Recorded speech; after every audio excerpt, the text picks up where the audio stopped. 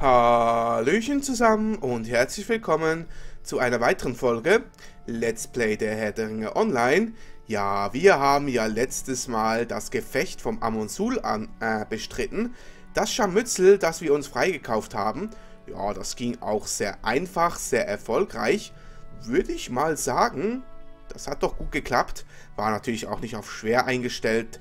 Das geht noch deutlich schwerer aber mit Solo ist eigentlich alles relativ gut zu bestreiten.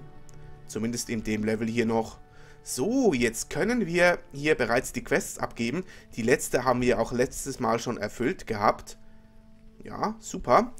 Regnet es jetzt hoffentlich wieder ein wenig EP? Wäre ja wünschenswert, nicht wahr? Was benötigt ihr? So, ich benötige EP ganz gerne. Das wäre super. Was kann ich für euch tun? Ja, weiße und blaue Quests. So schmeckt es mir am besten. Ich grüße euch. Oh. Und keine Folgequests, zumindest nicht von ihr.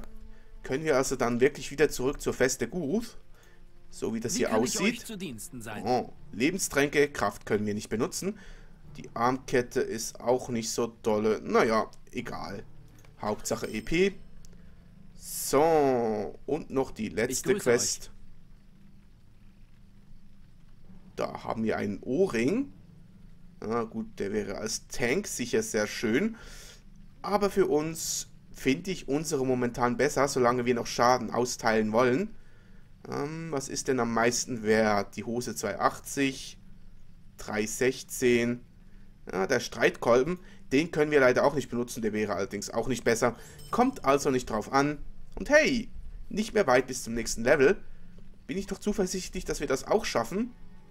Ja, und die hier scheinen Tatsache nichts mehr für uns zu haben. Außer halt ein paar Rationen, Feuerholz und was solche Händler eben noch haben. Ja, geht es also jetzt wieder zurück zur Feste. Kurzen Moment, ich will kurz gucken, ob ich wirklich alles erledigt habe. Hm, die Feste Gurus. Ah, stimmt nicht. Wir können noch das Geschenk an die Erdzippe übergeben. Genau. Das hier war ganz woanders. Das führt uns nach, nach Evendim. Und Eriak der Starke in Agamau. Das kommt auch erst später. Da müssen wir noch nicht hin. Gut, dann gehen wir jetzt zu dem Erdzippendorf. Ich glaube, der hat uns dann auch noch ein paar Folgequests. Wenn, mir nicht, wenn mich nicht alles täuscht. Und ich denke, da steigen wir auf unser Pferdchen für. Das ist, glaube ich, nicht so schlecht. Oh, ich wollte eigentlich noch meinen Beutel leeren und verkaufen. Das muss ich jetzt dann nach der nächsten Folge machen oder so. Gucke ich dann, wie sich das ergibt. Jedenfalls reiten wir mal, gehen Straße. Auf der anderen Seite ist dann auch schon das Erzippenlager. Ja, können wir mal ein wenig mit diesen Riesen kommunizieren. Auch sie können sprechen relativ gut sogar. Haben auch ähm, durchaus äh, mehr Intelligenz als für Riesen so normal ist. Ich will ja jetzt nicht über Riesen herziehen, aber so meine bisherigen Begegnungen mit Spielen waren da nicht sehr, sehr rühmlich, was Intelligenz angeht. Naja, naja. Aber eigentlich sind sie ja durchaus mehr neutral. Nicht in diesem Spiel hier, da sind Riesen, Riesen meistens ziemlich aggressiv. Zumindest wenn man ihr Territorium betritt. Aber sonst muss ich sagen, äh, gibt es deutlich ähm, unangenehmere Rassen als Riesen. Gut, ich weiß nicht mal, ob es wirklich Riesen sind. Vielleicht bezeichnet man sie auch irgendwie anders. Hm, müsste man auch mal irgendwie nachforschen. Habe ich aber nicht für alles Zeit leider. Geht nicht. Und so, der Kerl hier mit den großen Hörnern ist wahrscheinlich seiner ähm, seiner, na, wie soll ich sagen, Trophäe, Trophäe her, der Anführer. Als Krone trägt er das wohl Was sozusagen. Oh, er riecht Fleisch und ähm, Pelze.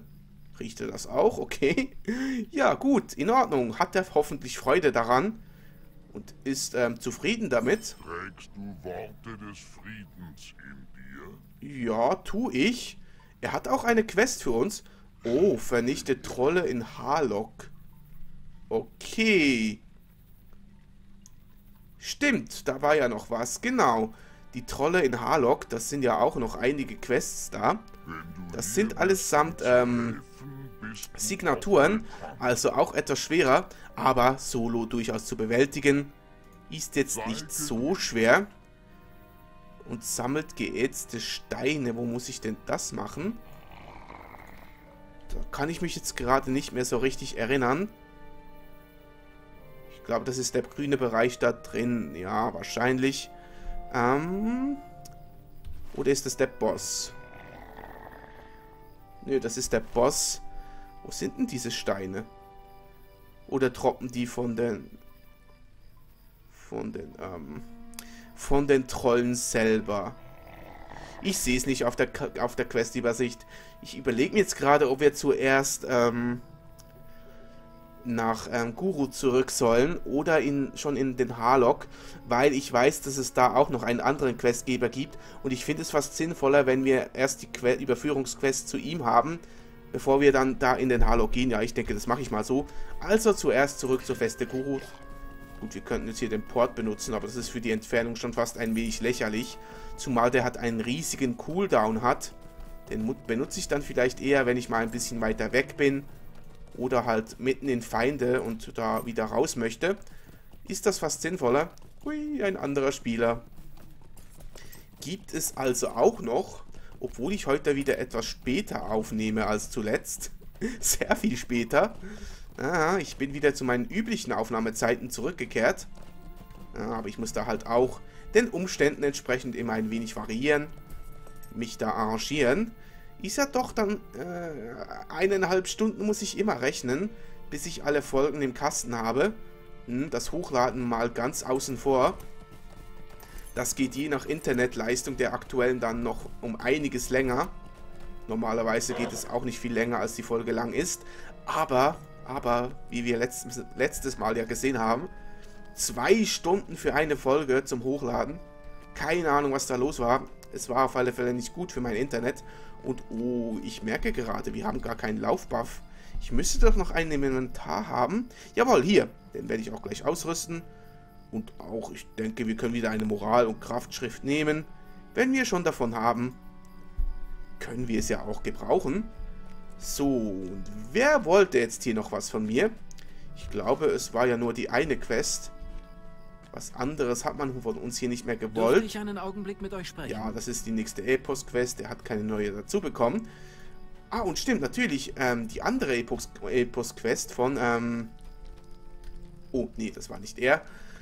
Von ähm, Radagast müssen wir natürlich auch noch abgeben. Ich hoffe, es steht nicht wieder ein Zwerg auf dem Tisch und geht uns auf den Senkel. Das brauche ich jetzt echt nicht. Das brauche ich nie, um ehrlich zu sein. So, Kraftregeneration und Macht. Nein, danke. Beweglichkeit ebenso wenig. Der Stab dürfte damit auch am meisten wert sein. Können wir also den nehmen. Wunderbar, wunderbar. Dann kann es mal weitergehen. Ab zu Radagast und gucken, was er als nächstes vorschlägt. Glaube, er schickt uns sogar nochmal zur selben Stelle zurück. Aber ich will jetzt noch nicht zu viel vorwegnehmen. Hm?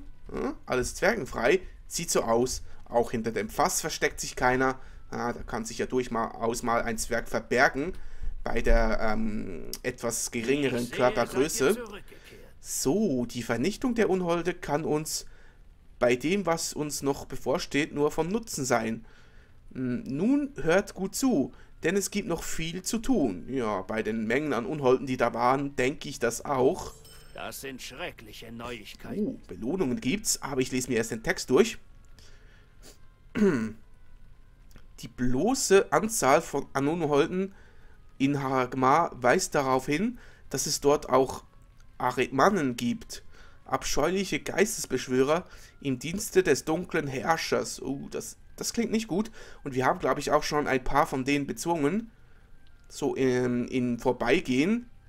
Ähm, in vergangenen Zeiten lebten sie im Hexenreich von Angmar, doch der Weiße Rat glaubt, glaubte, sie für immer besiegt. Das war zweifellos ein Irrtum. Ja, wenn es wirklich Arithmanen sind, die wir da besiegt haben, ist das so. Ähm, nur die stärksten Arithmanen, die Arid-Fürsten verfügen über die Macht, die Geister des Schattenreiches zu beschwören. Die Kriegssänger tragen das Siegel ihres Arid-Fürsten. Durchsucht die ähm, Ruinen im Osten von Hagmar, vernichtet diese Kreaturen und bringt mir ihre Siegel. Wir müssen erfahren, welchen Arid-Fürsten diese Kreaturen dienen. Okay. Wir müssen also einen Arid-Fürsten aufspüren und Arid-Mannenziegel sammeln. Was kriegen wir denn dafür? Ein Blutstein, Schicksal und Vitalität. Ja gut, da haben wir jetzt unser tolles ähm, Siegel von den Eglain. Das ist dann doch um einiges besser, würde ich sagen. Ja, doch, ich denke, da werde ich das behalten. Und die hier, ja, auch nicht besser als unsere Schatz, äh, unsere ähm, Hügelgräberrüstung. Und auch die Waffe eher enttäuschend. Obwohl ich mir habe sagen lassen, dass ähm, Zweihandwaffen für Bärninger besser seien, weil, weil nur die Mainhand in der Bärenform beim Schaden beachtet wird und nicht die Nebenhand. Sprich, es bringt mehr, eine Zweihandwaffe mit mehr Schaden zu tragen als zwei Einhandwaffen, weil die halt im Einzelnen weniger Schaden verursachen.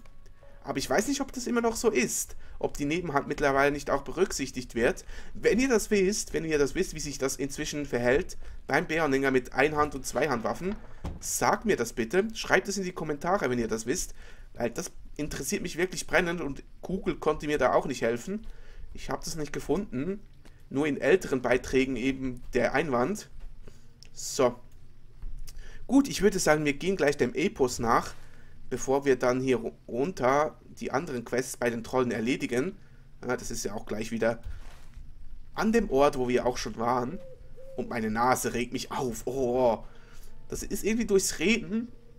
Ähm, gerät da einiges durcheinander, keine Ahnung. Es ist wohl immer noch ähm, die letzten Überreste meiner Erkältung, die sich da zusammenrottet und mich beim Aufnehmen stören will. Oder einfach nur ärgern. Oh, nervig, richtig nervig. Und ich will ja auch nicht jetzt hier alles mögliche hochziehen oder gar schneuzen mitten in der Aufnahme. Ja, nee, das hört sich ja, hört sich ja schlimm an. Das kann ich euch nicht antun. Deswegen ähm, muss ich immer so ein wenig möglichst diskret alles äh, beiseite schieben. So gut es eben geht. Okay, das, selbst das klingt auch nicht viel besser. Entschuldigt, ich höre ja schon auf damit. Ich will euch nur ein wenig ähm, erklären, warum es manchmal ein bisschen komisch klingt. Ja, wenn die Stimme sich plötzlich ein wenig ähm, äh, verschluckt oder so anhört. Keine Ahnung, wie ich es genau betiteln soll. Ja. Nicht erlaubt, während ihr reitet. Ach so, ich bin auf die 2 gekommen. Ups. Ja, meine Finger, sie sind manchmal nicht so zielgenau. Hm, ist euch sicher auch schon aufgefallen. Über meine diversen Hetztiraden, was Tastatursteuerung angeht ganz zu schweigen. Ja, lass mich. Du Sumpflaucher. Der hat auf uns gelauert, im wahrsten Sinne des Wortes. Ähm, so. Hier sind wir schon bei den Untoten. Zumindest stehen sie da schon ganz bedrohlich. Jetzt müssten wir uns Arimannenfürsten suchen. Wie gesagt, haben wir letztes Mal auch schon gefunden. Die waren da in der Feste, aber ich glaube, hier gibt es auch schon welche. Vor der Feste. Ähm, da hinten. Ach nö, das ist nur ein Eisen. Aber das möchte ich mir auch gerne holen. Und doch, doch, da ist einer. Da ist einer. Samt seinem Diener. Von dem wir dann, glaube ich, das Siegel bekommen. Er sagte ja, dass die, Diener, dass die Diener, die erweckten Diener, das Siegel ihrer Herren tragen, ihrer Erwecker. Ja, müsste das also so funktionieren. Und sie bewachen mein Eisenerz. Mein hochwertiges Eisenerz. Was fällt euch ein? Was tut er jetzt? Uhu, er beschwört einen weiteren Untoten. Kriegen wir dann zwei Siegel? Na, ich befürchte fast nicht. Aber es könnte ja sein. Vielleicht. Vielleicht auch nicht. Es ist nicht so wichtig. Es gibt jedoch genug Arimannen. Aridmannen. Schweres Wort. Besonders mit verstopfter Nase. so, noch das Erz abgebaut. Und oh, ich muss wieder ein wenig auf meine Moral aufpassen. Diese Arimanen haben es doch ganz schön in sich. War da nicht in der Nähe gleich noch einer? Hm, nee, es sind alles nur normale Unholde. So, ich werde jetzt hier erstens mal kurz heilen. Und dann nehme ich nochmal ein wenig ähm, Hornbläserkuchen zu mir. Unser letztes Stückchen. Schade, schade, aber wir haben ja noch andere leckere Sachen. Brote des Reisenden wird es hier auch schmecken. So, ich räume noch kurz diese Untoten hier aus dem Weg. Wenn wir schon hier sind. Äh, nicht zu weit vorlaufen. Was sollte das denn jetzt? So. Macht die gute Beorninger hier einfach das, was sie möchte.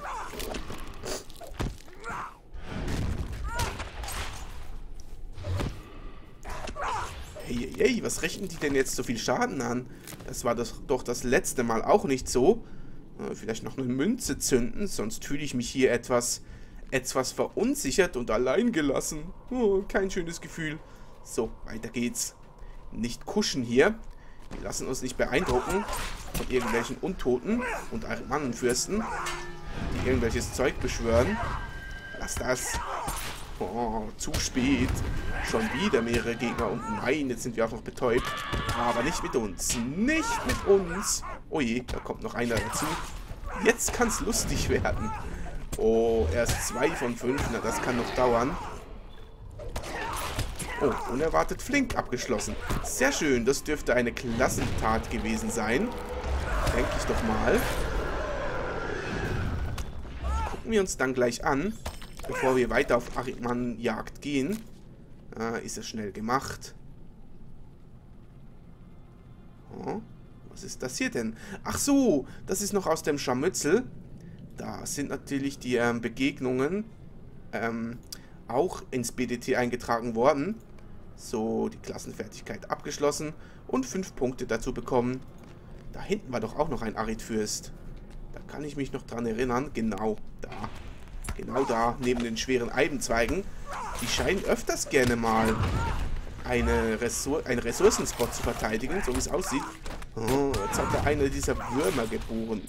Brrr, wie ekelhaft. Ich laufe heute ständig an den Gegnern vorbei. Ich habe vorhin, glaube ich, zu viel Jäger gespielt, zu viel, zu viel Fernkampf. Da ist das wohl ein wenig ähm, ungewohnt, gleich auf Nahkampf umzusteigen. Vielleicht sollte ich nächstes Mal vor dem Aufnehmen was anderes spielen. Ja, um mich ein wenig einzufuchsen. So. Stehen die da alleine? Ich denke, die kommen ähm, einzeln. Also respektive halt zusammen. Der Diener und der Fürst. Hat geklappt. Ich habe nicht noch den dritten da gezogen. Sehr schön. Na gut, er beschwört ja sowieso noch einen dritten. Aber das kennen wir ja. Damit werden wir schon fertig. sobald der Signatur Gegnergeschichte ist, sind die anderen beiden auch nicht so schwer. Na gut, wobei... Keine Ahnung warum, aber es fällt irgendwie schwerer, als, als wir das letzte Mal hier waren. Ja, kann mich auch irren. Es ist halt jetzt nur so das Gefühl von mir. Ähm, ich gucke mal zurück, ob der eine Arithmaner hier schon wieder respawned ist, weil ehrlich gesagt habe ich jetzt nicht Lust, äh, mir da weiter drin noch welche zu suchen und auf noch mehr Widerstand zu stoßen. Und ja, er ist Tatsache schon wieder da. Wir können uns einfach nochmal denselben pflücken. Okay, ist jetzt vielleicht nicht die, ähm, die ähm, schönste Variante und die logischste, aber, aber die angenehmere auf alle Fälle. Und Arimanne ist Arimanne, die unterscheiden sich ja nicht voneinander. Von daher verpasst ihr auch sicher nichts. So, er hat dieses Mal nicht mal einen weiteren beschworen. Trotzdem wird uns hier immer mehr Schaden reingedrückt. Was soll das denn? Ich fühle mich unsicher so. Da habe ich immer das Gefühl, dass ich schlechter geworden bin. Ich kann mir das jetzt echt nicht erklären. Wir hatten letztes Mal ja auch keine Buffs an oder so. Also keine sehr starken. Ich glaube, dieses Mal haben wir sogar noch mehr an als letztes Mal. Ich weiß es nicht. Oh, Unhaltbezwinger abgeschlossen. Ja, wunderbar. Sehr gut. Wieder Punkte bekommen. Dürfte die erste Stufe gewesen sein. Jawohl. Die mittelschwere gerade freigeschalten. Und fünf Punkte dazu. Sehr schön. Und ja, auch der Achidmanner ist wieder hier. Damit dürften wir dann die Quest erledigt haben und können wieder zurück zu Radagast ihm die Siegel zeigen, die es ja wirklich hier hat, so wie es scheint. Aber er kann daraus wohl schließen, welcher Aritmanenfürst hier zugange ist. So, erledigt. Oh, da kommt der vierte auch wieder dazu. Dieses Mal etwas zu spät zur Party. Ja, hast du dich etwas verspätet.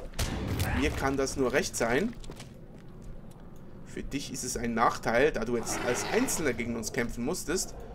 So, weg Wunde noch gleich. Und jetzt können wir uns hier wieder rauswurschteln. Ich denke, ich steige dann unten am Sumpf einfach wieder aufs Pferdchen.